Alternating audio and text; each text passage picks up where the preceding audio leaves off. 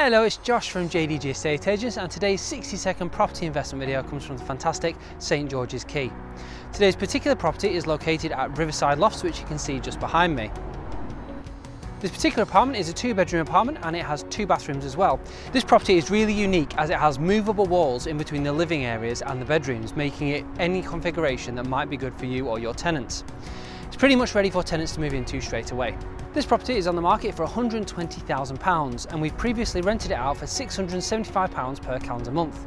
This should bring you in £8,100 per annum, which is a fantastic 6.7% gross return on your investment. It's ready for tenants to move straight into and with its quirky layout it's definitely one worth coming to have a look at.